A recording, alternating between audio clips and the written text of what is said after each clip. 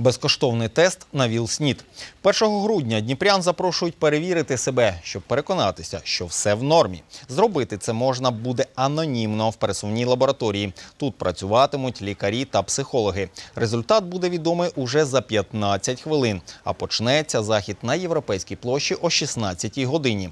Також організатори проведуть флешмоб. Після нього планують розповсюдити містом інформаційні буклети.